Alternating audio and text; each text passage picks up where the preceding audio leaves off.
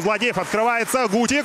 Гутик, хорошая пауза, пас на дальнюю штангу. И Горшков перехватывает этот пас. Но атака не закончилась. Гол! 1-0. Московская «Динамо» выходит вперед. Егор Смирнов становится автором первой шайбы 13 сезона молодежной хоккейной лиги. Еще раз давайте с вами посмотрим. Сначала Горшков перехватывает передачу Гутика. Отлетает шайба на синюю линию. Ну и Смирнов с кистей бросает, попадает мимо Злодеева и в ближний верхний угол.